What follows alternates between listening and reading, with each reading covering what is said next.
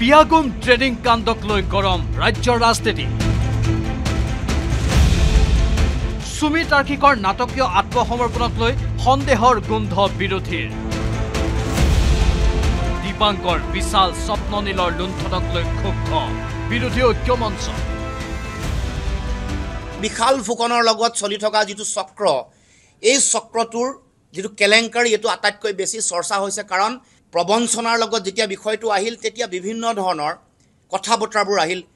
এই ধন চিণ্ডিকেটত বিনিয়োগ কৰা আৰু যোৱাকালি ধৰালৈকে যিখন চিত্ৰনাট্য আৰু নাটক ৰচনা কৰা হ'ল এই কথা স্পষ্ট ৰূপত প্ৰমাণ হ'ল যে ইয়াত কোনোবা ৰজাঘৰীয়া ৰাজনৈতিক হস্তক্ষেপ নাথাকিলে এই ধৰণৰ কথা বতৰা নহয়।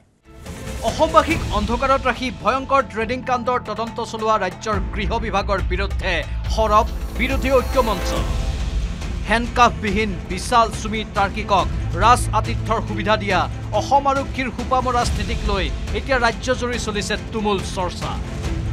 সাধাৰণ এগৰাকী ৰিলছ অভিনেত্ৰী আৰু ফটোগ্ৰাফাৰে দহ দিনেই নাটক চলাই আৰক্ষীক ধৰা দিয়াক লৈও চলিছে সৰ্বত্ৰ চৰ্চা। নাটকৰ পৰিচালক আৰু স্ক্ৰিপ্ট ৰাইটাৰৰ ভূমিকাক লৈ প্ৰশ্ন বিৰোধীৰ চুমি বৰাক কোনে লুকুৱাই ৰাখিছিল? ক'ত আছিলে তেওঁ? যিটো গাঁৱৰ ঘৰৰ কথা কৈছিলে সেইটো কোনো মানুহ সাতদিন লুকাই থাকিব নোৱাৰে। যে সেই ঘৰটোৰ কাষত থকা তেওঁলোকৰ মানুহে কৈছে যে তেওঁলোক বিয়াৰ পৰা অহাই নাই। আৰু যি পুলিচে তেওঁক বিচাৰি চাৰিওফালে লকেট কৰি নেপাল চেৰাপুঞ্জী মেঘালয় বিহাৰ ক'তো বাকী নাই। কিন্তু তেওঁলোকে তিয়কত থকা যোৰহাটত থকা মহিলাগৰাকীক দম্পতীহালক একোৱেই সংসূত্ৰ নাপালে। এইটো কেনেকুৱা? অবিশ্বাস্য কথা এটা হ'ব পাৰে। গুৱাহাটীত এনেদৰে সাংবাদিক মেল পাতি ট্ৰেডিং কাণ্ডৰ কেলেংকাৰীক লৈ ৰকিবুল লুৰিন আৰু অজিত ভূঞাৰ বিস্ফোৰণ।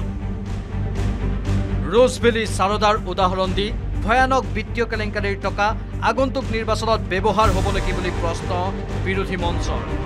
কেৱল ইমানেই নহয় ভি আই পি আতিথ্য দিয়া অভিযুক্তক ৰাজসাক্ষী কৰোৱাৰ গোন্ধ পাইছে বিৰোধী ঐক্যই। ডিব্ৰুগড়ৰ আৰক্ষী অধীক্ষকগৰাকীৰ অজ্ঞাতে ঘটি যোৱা ঘটনাটোত সুমি তাৰ্কিক ন দিন ক'ত লুকাই আছিল সেয়াও গৃহ বিভাগক ৰাজহুৱা কৰাৰ দাবী সংবাদ মেলত ডিব্ৰুগড় জিলাৰ এছ পিয়েও তেওঁৰ মুখৰ বক্তব্য শুনিব তেওঁও ক'ব পৰা নাই যে ক'ত কৰায়ত্ব কৰিলে কেনেকৈ কি হ'ল একেবাৰে অজ্ঞতা প্ৰকাশ কৰিছে।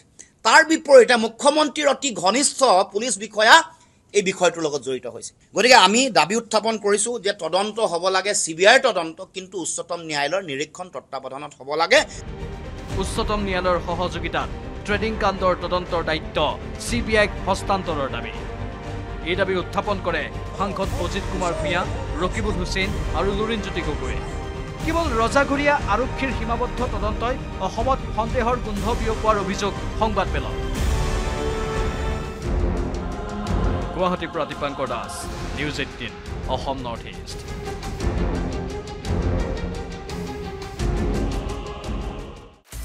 আপুনি বিচৰা বাতৰি পাব কেৱল নিউজ এইটিন এপত। নিউজ এইটিন এপ ডাউনলোড কৰিবলৈ স্কেন কৰক এই Q R code. Google play ষ্টৰতো পাব এই নিউজ এইটিন এপ।